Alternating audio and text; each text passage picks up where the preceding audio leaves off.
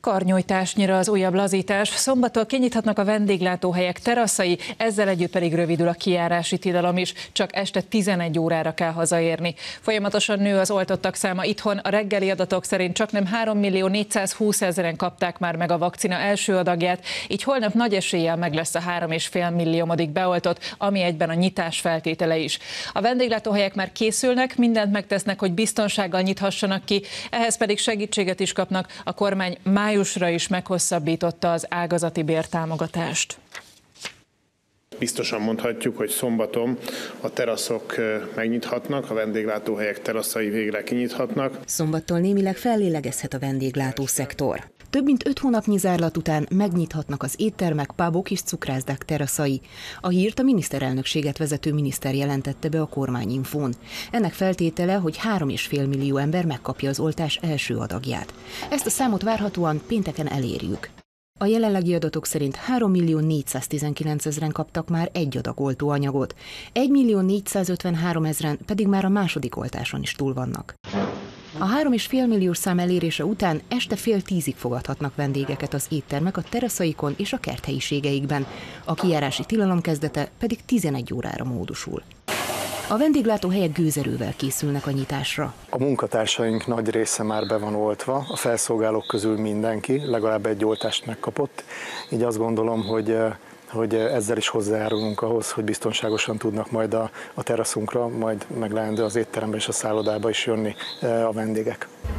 Ez már Tihany egy páratlan panorámájú étterem. A nyitás előtt még egyszer lefertőtlenítettek és kitakarítottak mindent, hogy a legnagyobb biztonságban fogadhassák a vendégeket. Az asztaloknak a távolságát igyeksz, igyekszünk betartani, ez a másfél-két méter, illetve a mosdókban szintén alkoholos készfertőtlenítők vannak, mm, illetve ezen felül tényleg ott is próbálunk a távolságtartás, hogy egy helyen sok ember ne tömörüljön, van külön ültető emberünk ezért, hogy, hogy mi tudjuk azt befolyásolni, hogy mikor mennyi ember tartózkodik egy légtérben. A Nébik ajánlásokkal segíti a nyitásra készülő vendéglátósokat. Videóikban olyan hasznos élelmiszerbiztonsági és higiéniai tanácsokat adnak, amelyek még biztonságosabbá teszik a működést és a vendégek kiszolgálását. A teraszok nyitása korán sem jelenti a járvány végét.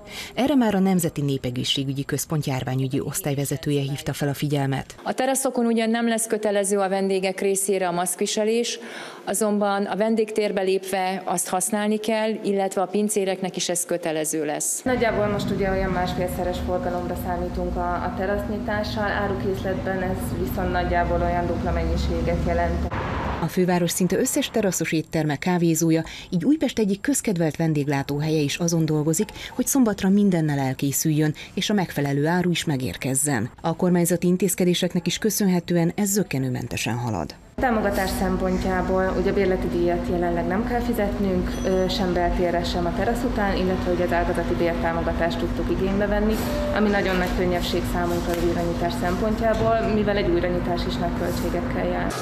Éppen ezért is a kormány úgy döntött, hogy az ágazati bértámogatást a nyitás utáni hónapban is igényelhetik a vállalkozások. Az újrainduló vendéglátóhelyeken a bértámogatás májusra is jár, tehát függetlenül attól, hogy a teraszok most kinyithatnak, és reméljük, hogy ha így halad az oltás, akkor mielőbb az éttermek belső terei is látogathatóak lesznek. Ettől függetlenül attól, hogy ez utóbbi mikor történik meg, a bértámogatás május hónap egészére jár. A kifizetésekkel kapcsolatban Gulyás Gergely hozzátette, eddig több mint 72 milliárd forint támogatást ítéltek meg, és ebből több mint 71,6 milliárdot már ki is fizetett a kormány.